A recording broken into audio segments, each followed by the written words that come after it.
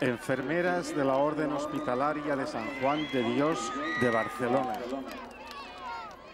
This group of 10 nurses from Barcelona, Spain came to Rome to ask the Pope to bless a new phase in their lives retirement. They'll likely never forget the moment, and with it caught on tape, they can also relive it.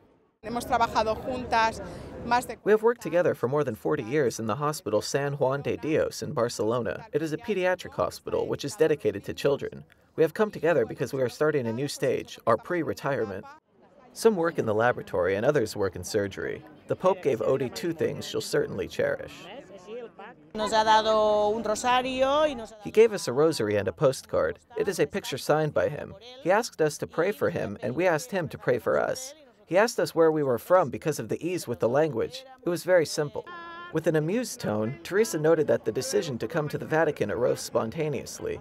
She said that the Pope's blessing will hopefully give them strength as this new stage of their life begins.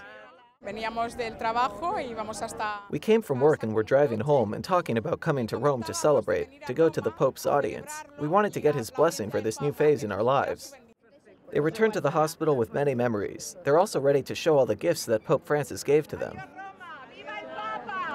Adiós Francisco. Adiós.